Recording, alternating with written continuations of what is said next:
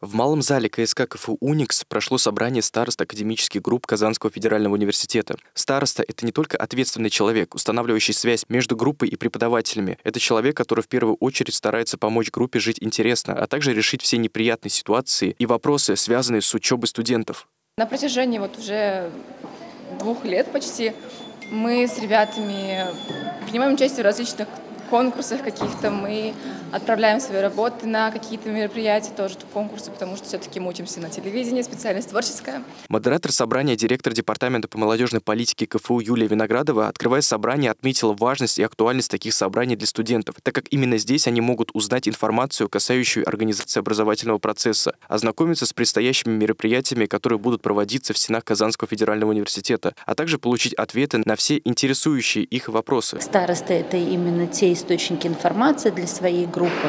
И в течение учебного процесса всегда есть очень много направлений, очень много вопросов, которые э, необходимо именно, чтобы староста освещала их в рамках как раз э, своей работы. Поэтому у нас традиционно проводятся собрания. В сентябре мы сделали акцент именно на студентов первого курса, потому что они только поступили в наш университет, у них было много вопросов, которые касающиеся вообще организации учебного процесса, условий проживания, то есть и много тех вопросов, которые они задавали как истинные первокурсники.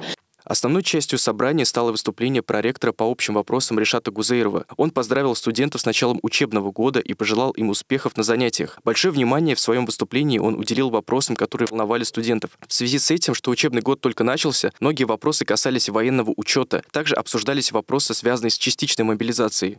Я прошу вас различать понятие э, частичной мобилизации, именно мобилизационных мероприятий, и призыва. Это совершенно два разных направления.